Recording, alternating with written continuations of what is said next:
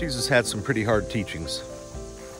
One of them, in my opinion, maybe one of the hardest ones, is these words that he spoke saying, Depart from me. And he's given an example of individuals that will come to him in the end times and then say, Lord, Lord. And he's basically addressing them, saying, Why do you call me Lord? I don't even know you. Depart from me. And the funny thing is, is that these individuals, so arrogant, argued with him, debated with him, tried to explain to him how he was wrong. Boy, don't we do that sometimes? We don't like what God does or what the Bible says, and we try to mold it to what we want, what we think. We try to correct the Lord. Crazy stuff. And this depart for me is pretty scary. And, and I have had discussions with lots of Christian brothers and sisters over the years, and some pretty quickly dismiss it. Well, they were never saved, and things of that nature. And others are they have fallen away, and and uh, it just the discussions get convoluted and confusing. So over the years, what I've really kind of looked at that and processed it is, it's a lot scarier than some theological um, predetermination or once saved, always saved. But these individuals actually approached the Lord, thought they were right with Him, or thought they could approach Him and say, We're one of yours.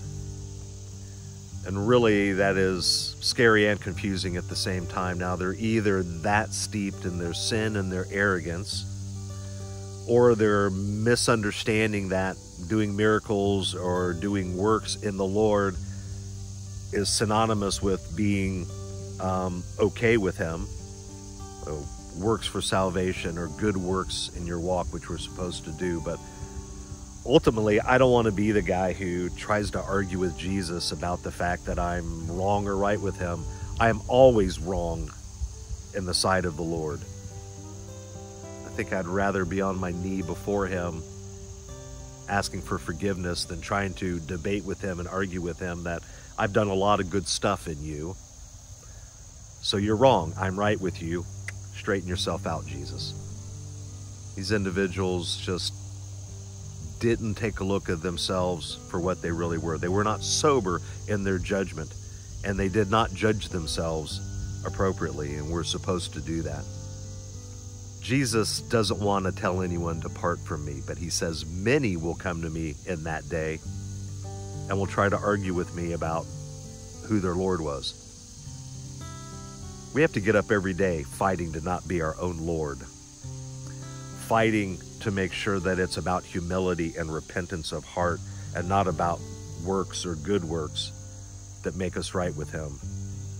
And we certainly shouldn't fall into the trap of thinking that I do some wrong things, because he calls them evildoers, that means they're being sinful, they're breaking the law, they're doing things they shouldn't. And they're saying, but we did all these good things.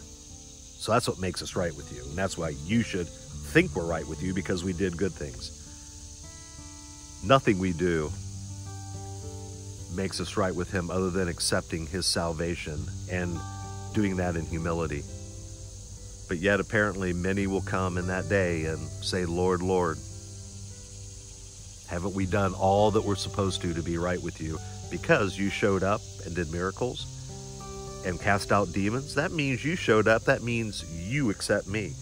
When actually, He does miracles not because of us, but despite of us. Really important to keep that in mind. And then just the humility of He's the only one who justifies us and we don't do that through our own works. And no miracle, sign, or wonder is indicative of the fact that I'm special and I'm right with God.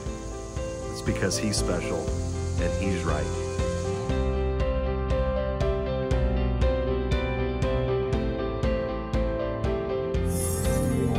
To learn more about The Way, visit thetruthandthelife.com.